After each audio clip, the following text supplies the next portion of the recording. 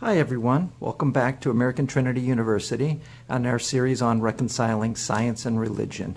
And uh, these are small clips, and we move them along rather quickly. So we call them Let's Talk. Let's Talk. All right, let's look at a way to get to God. And um, yeah, this is the easy way. It's just a model. It's it's it's a way to logically get to God using some of today's scientific ideas and using uh, Gödel, uh, which we call him Gödel, but the German word is Gödel, for um, his modal logic. And basically, we're going to combine those two and show you that there's probably a pretty easy way to get to God if today's theories are true. Uh, first of all, let's look at, at where science is. Okay, so we're sitting over here and uh, we got ourselves a bunch of dots all evenly spaced out. Okay, and um, so out of that we get a big bang. All they one of these little pieces hits another piece and causes a chain reaction. So everything flies everywhere. Now here here's the problem. The problem is what came before the collision? What set everything into motion? So if there's a person back there, if there's a um, if there's a, a God, something that pushed that little particle into motion, okay, created the Big Bang.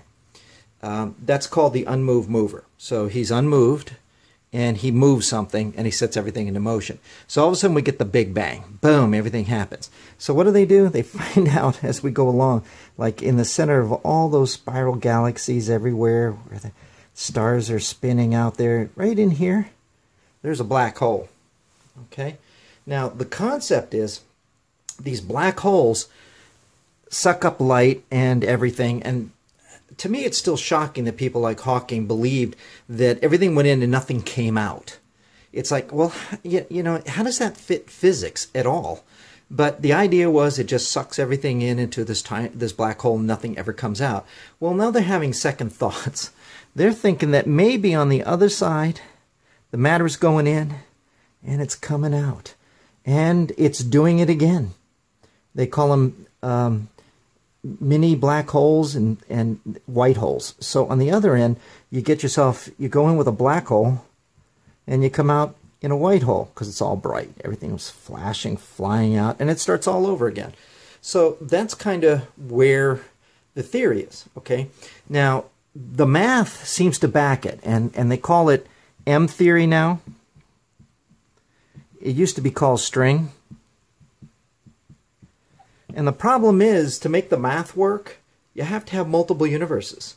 I think they're up to 11 now. All right, to make their math work and with string theory, or M theory, they've got to get to 11 universes. Okay, so here's how Gödel, or Gödel,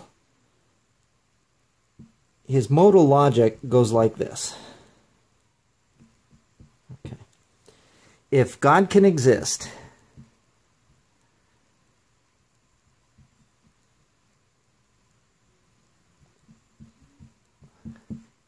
in any one of those universes universes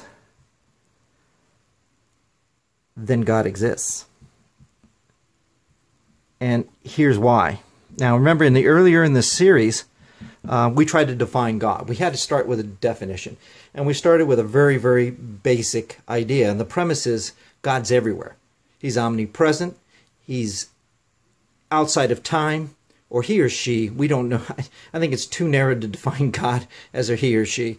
But basically, you've got you've got this this idea that God is everywhere. So here's the deal.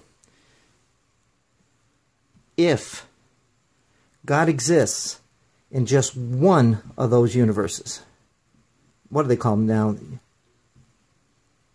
I think they're called multiverses. So if God exists in any one of them, by definition, he has to exist in all. And um, so that's a base, basically an ontological proof. So, bammo, God exists.